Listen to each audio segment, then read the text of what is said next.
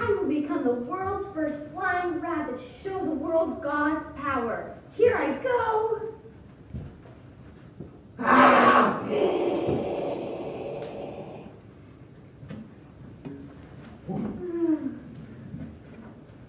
What yeah?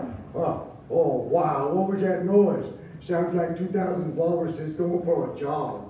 Oh yeah, maybe 100 seals doing backflips on cement. Oh, you know that's right. Just boom! boom. oh my, that didn't go like I thought it would. I've been practicing so much. I can't believe you're trying to do that again, honey. This isn't gonna accomplish what you want. Mm-mm. Oh yeah, what are you trying to accomplish? How many bones you can break at one time? I just want to do something amazing for God that the whole world can see and marvel at.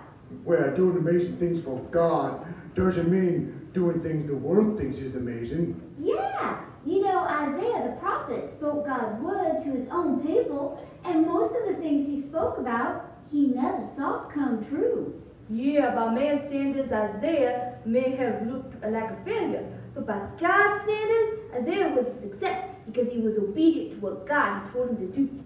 Oh yeah, that's right. Isaiah even told, uh, told of the coming of Jesus, the Messiah, into the world, that he would come from the line of the King of David. David? You mean the one who killed Goliath?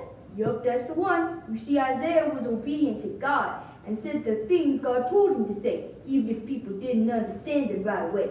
Yeah. yeah. In Isaiah 11, 1 and 2, it says, There shall come forth a rod from the stem of Jesse, and a branch shall grow out of his roots. The Spirit of the Lord shall rest upon him. Oh, yeah, that's right. The rod of Jesse is David's father. Oh, so we know that Jesus came through the line of the King David. Now we understand Isaiah's prophecies. Oh, you know that's right. Just boom. Just boom. Yeah. Boom. Oh, I like that. That is all, that's nice and all, but even if I were able to do some amazing thing for God, I think part of the problem is I'm, um, too small. Yeah, that's it. Your age or even your size isn't a problem for God. It might be a problem for you. But God isn't concerned about all that. God just wants someone willing to follow him. Mm -hmm. Oh, I can do that. I love playing follow the leader. just don't follow your bunny friends down snake hole. That kind of game has quite a bite to it. Mm. Oh, she got you there, honey buddy. Yeah, yeah she harpooned you like a whale. Oh, you know that's right. Just boom, boom. So if I follow God like Isaiah, can can I do great things for God? Oh, yeah, yeah, that's right again. You'll just be like Jesus. Jesus was always doing the will of God the Father and following him. Oh, yeah, and Isaiah followed God too by sharing all those amazing prophecies. Isaiah even told the truth of God's future reign on the earth. Oh, yeah, Jesus will rule and reign, yep. Oh, yeah, you know that's right. Oh, yeah, Jesus, boom, boom. What? Jesus is going to come back and rule on the earth? Yep. Isaiah 11, 6 through 10 says, The wolf also shall dwell with the lamb.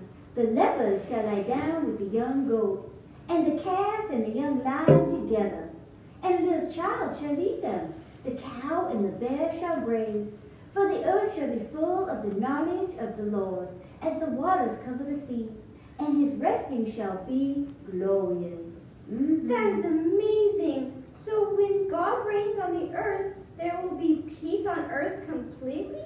Yeah, that is the future, because the only time a cow will hang out with a bear is when it's in the bear's stomach. oh, you know that's right. Just boom, boom.